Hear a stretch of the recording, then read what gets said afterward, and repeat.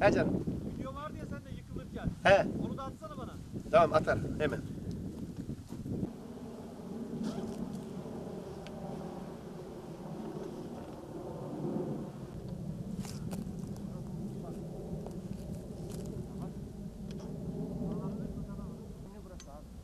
Burada zaten dayatılmasaydı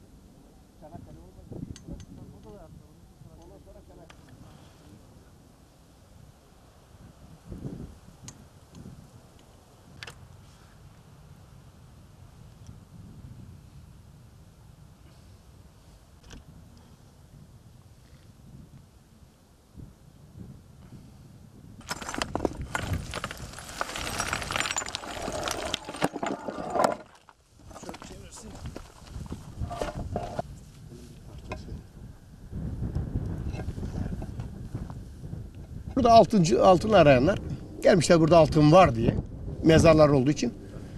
Gelip kazıyorlar bakıyorlar şehit mezarlığı görünce bayrak bayrak. Geldiler bana muhtarım böyle böyle biz tabialarda bir şehitlik bulduk. Geldik onlarla beraber. Tespit ettik yeri. Hakikaten de şey e, şehitlik. Çünkü bayrak var, eski yazılar var, taşlar var. Zamanı kaymakamlığına da gidip de dedim ki efendim böyle böyle biz bir şehitlik bulduk. O da geldi sağ olsun. Yeri gördük. Sponsor aradık. Büyük şehirlerin Çatalca Kaymakamlığı'nın ortaklaşa çabasından biz buraya çok güzel bir şehitlik yaptık. Kaç şehidimiz yatıyor burada? Burada 34 tane şehidimiz var. İki tanesinin ismi belli.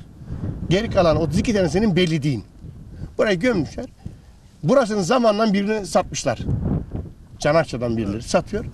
Alan adam da burada benim yerimi işgal ettiler diye dava açıyor.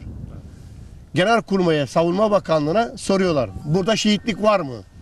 Şehitlik burada diyorlar ki bizim envanterlerimizde şehitlik yok. Burasını adama temizleyip verin. Mahkeme kararından dün burasını yıktılar. Yazık günah bu şehitlerimize. Bu adamlar bizim için ölmüş. Çamurda, hasta olmuş, yağmur altında, kar altında. Ama devletimiz bunlara sahip çıkamadı. Ne hissettiniz bu halini görünce? Ne hissetmeyeyim? Bir insan şehitlerinin böyle Tabii konuşma hani böyle içimden gelmiyor artık konuşma. Konuşacağım, ağır konuşacağım olmayacak.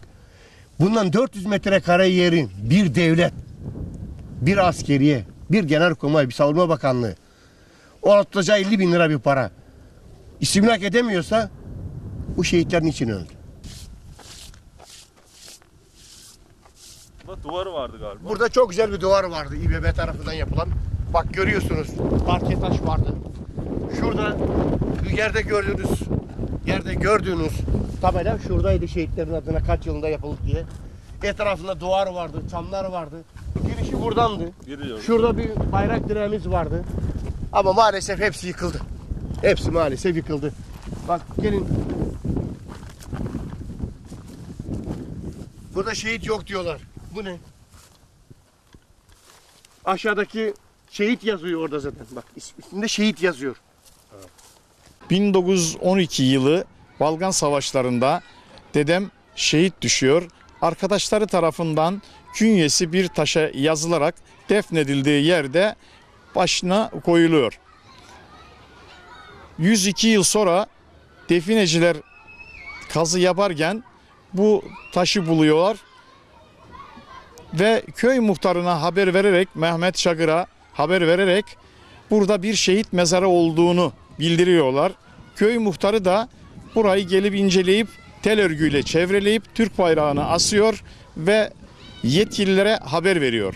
Yetkililerin burayla haber alması neticesinde Çatalca Kaymakamlığı Büyükşehir Belediyesi Mezarlıklar Müdürlüğü ile irtibata geçip burayı düzenlemesini yapılarak 17 Kasım 2014 yılında burasını şehitlik olarak törenle e, açılıyor.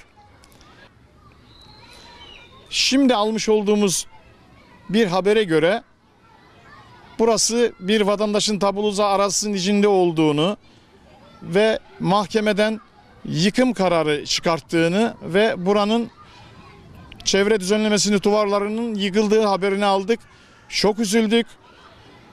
Yıkıldık biz de. Buranın yetkililerden şehitlik olarak tekrar düzenlenmesini istiyorum.